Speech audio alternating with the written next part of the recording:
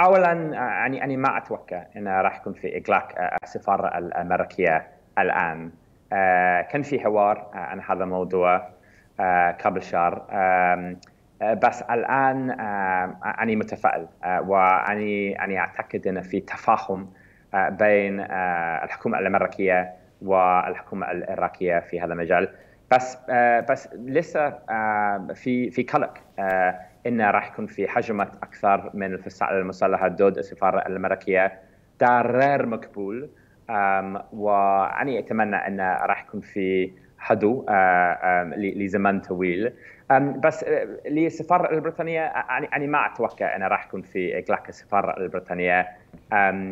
نحن منفصلين من السفارة الأمريكية. عندنا علاقة وتيدة وقوية جدا مع الحكومة الأمريكية ومع أمريكا بشكل عام بس أنا أنا ما أتوقع إنه راح يكون في إغلاق السفارة البريطانية.